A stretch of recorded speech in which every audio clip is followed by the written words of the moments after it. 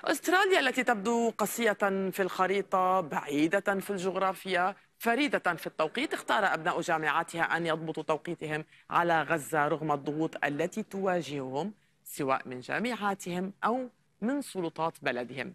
في ملبورن مثلا وزعت إدارة الجامعة منشورات تتهم الطلاب بعرقلة الدراسة وهددت باستدعاء الشرطة لقمع الاعتصام الطلابي بالقوة بعد فشل الإدارة في انتزاع قرار قضائي يسمح لها بذلك ودفاع المحكمة عن حق الطلاب في الاعتصام.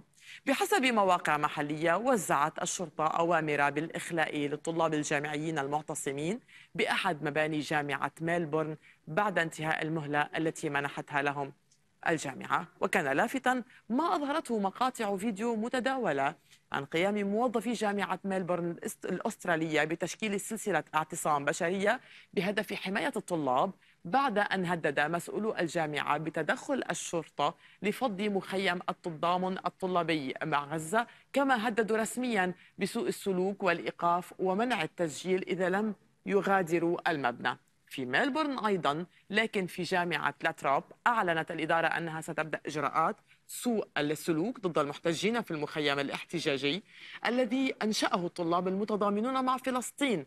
على الرغم من أن الاحتجاجات في لاتروب كانت سلمية نسبيا ولم يتم مقاطعة أي فصول دراسية حتى الآن بحسب تعبير بيان الجامعة.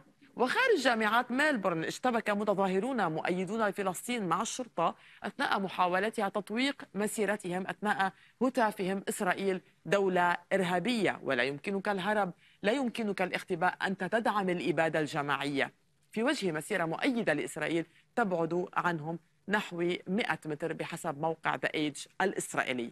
جامعة أسترالية أخرى أيضا مشاهدينا هي كوينزلاند. حذرت من أن الطلاب قد يواجهون إجراءات تأديبية بسبب هتافاتهم المنددة بإسرائيل أو استخدامهم كلمة انتفاضة التي وصفها نائب رئيس الجامعة في رسالة إلكترونية أرسلت للمعتصمين بأنه يمكن اعتبارها, اعتبارها تهديدا أو تخويفا أو مضايقة. لبعض الأشخاص. واعتبر رئيس الجامعة بيتر فارغس أن الاعتصام تجاوز الاحتجاج المشروع وخرق قواعد السلوك في الجامعة لكن تهديد الجامعة يبدو أنه لم يخف الطلاب المعتصمين الذين أكدوا أنهم لن يذهبوا إلى أي مكان. على منصة التواصل الاجتماعي تفاعل كبير مع الحراك الطلابي الذي تشهده جامعات أستراليا وكان لافتا فيديو قيام موظفي جامعة ميلبورن الأسترالية بتشكيل سلسلة اعتصام بشرية لحماية الطلاب. نورمي أنج تقول من الرائع رؤية أعضاء هيئة التدريس يدافعون عن الطلاب. هم في الجانب الصحيح من التاريخ. غريغ ماكدونالد يكتب معجب جدا بالموظفين والطلاب الذين يقفون تضامنا مع الضرورة الأخلاقية الأكثر إلحاحا التي واجهت أستراليا في عقود. وجاس بيزيك تكتب فخورون بالطلاب كنا الجيل الذي احتج على غزو العراق. وقال الجميع إنكم ستدمرون مستقبلكم. فقط واصلوا دراستكم وأحيانا تعرفوا ما هو الصلاب عليك فقط أن تقاتل من أجله.